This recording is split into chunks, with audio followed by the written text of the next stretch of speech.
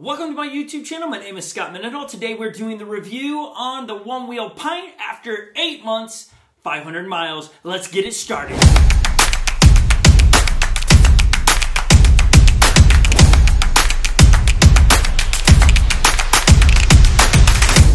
I hope you're doing excellent today. I know that the conditions in the news and in the world are kind of gloomy. Today, I hope to give a pause in for us to talk about something that we all love, which is the one wheel pint. I am excited to do this review. We dropped one yesterday on the XR. I do own both. Some background to my one wheel experience. I came from a boosted board to a one wheel and fell in love immediately as we live in the tundra of Minnesota and those electric skateboards are fun, but yet they do not ride well on snow and ice, whereas the one wheel does. And yes, the pint handles those conditions, snow and ice, just as well as the XR. The riding experience is totally different of the two, but this video is not about that. I will link at the end a video where we do the difference between the XR and the Pint. This is the review of my opinion on the Pint, which is sitting right back there. Love that thing okay? I love the way it rides. It carves so nice. The wheel is much more rounded than the Vega wheel that is stock on the XR.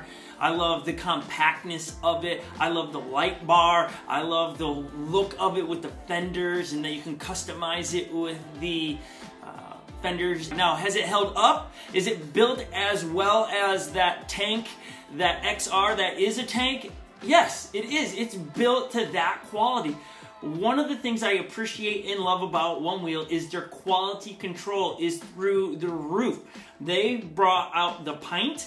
They delayed some of their shipping, not to irritate us as the consumers, but to make sure that they were releasing something that they could be proud of and that would withstand all the wear and tear that we one wheel riders put through, and that pint withstands it. Again, I've dropped that thing, I rode it through every condition imaginable, and it withstands it. I have it all stock still. The tires still, the stock wheel, uh, all of the components on there are still one wheel components. After 500 miles riding in LA, in Minnesota, in Illinois, in all the terrains, that thing is worth what you're. I mean, it's $900. It's so worth it. It's like, wow.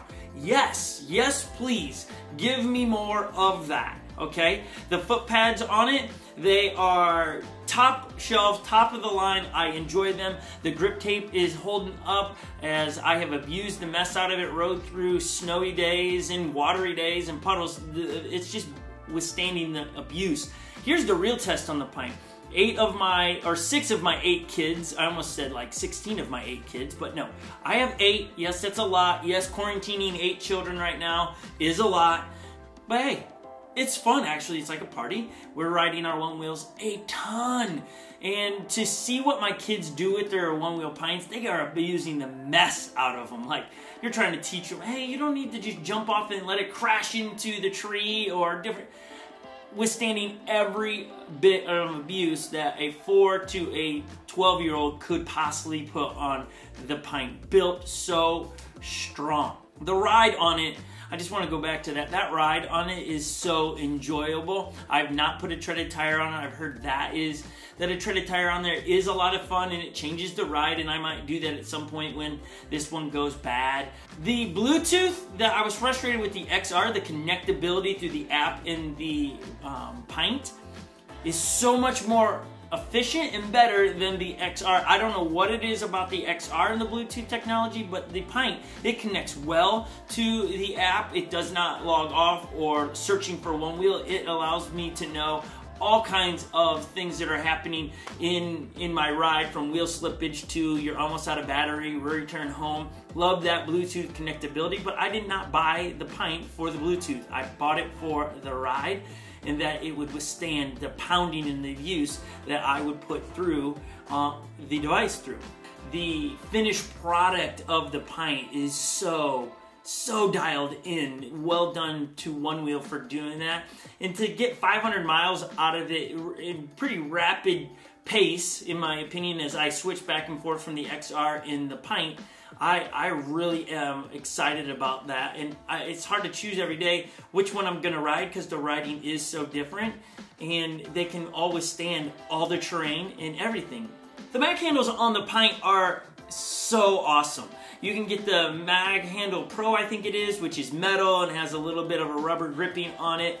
That's cool too. The handles are so cool. It adds to the look, and those handles are robust. I just like the sleekness of it. You can see the intentionality in the design. The light bars, handling very well. It's handled everything. It's got water on it. It's rode through snow. It's been dropped, and it's does its job. It lights up. You can see it during the day and the night. I really have yet to have any issues with my pint.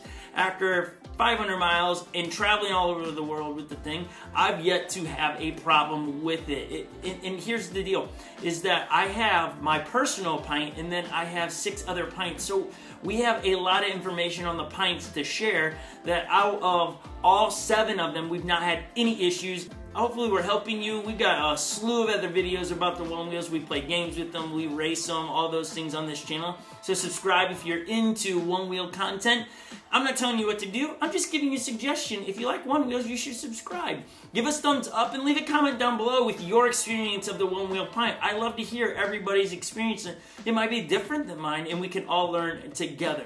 That said, I have, I, have given you my opinion. I have shared about the pint. Tomorrow we're going to have a ride along. I'm going to go out and film riding my one wheel pint with, with the golden fender on there. I'm into gold and black at the moment, and so we painted this. We're gonna ride around Minnesota, and we're gonna talk about the state of Minnesota and the social distancing and quarantining. So that will drop tomorrow. That said, everyone, have a fabulous day. Wash your hands. Stay away from those that are coughing. If you don't feel well, I hope you get better soon. See you guys. Till the next one. Bye.